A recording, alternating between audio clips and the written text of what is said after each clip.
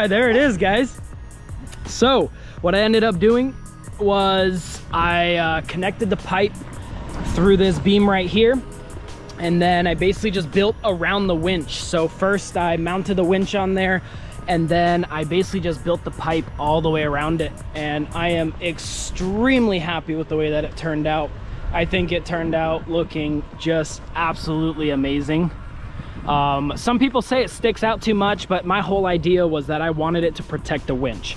So I'm totally okay with it sticking out a little bit more because at the end of the day, I'm just trying to protect the winch. I'm trying to protect the front end. A lot of people, they put on bumpers on these things, but they end up just being like cosmetic bumpers, you know? But I wanted something that'll actually protect me in the case of hitting, uh, hitting a tree or something while off-roading. So I think it really fits the car. Uh, it really just ties in this whole front end right here.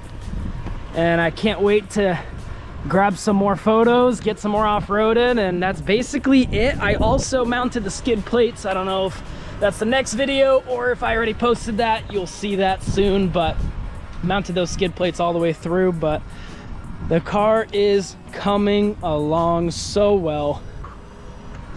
So let me know if you guys have any questions about it. I'm more than happy to answer anything you guys have. I don't have any sketches or blueprints of how to build it, but I mean, I'll try to take some really close photos and you'll probably see that over on the social media, the Instagram, Crusty Overlanding. Go ahead and check that out. Um, follow me over there. I'll be posting a lot of photos and whatnot.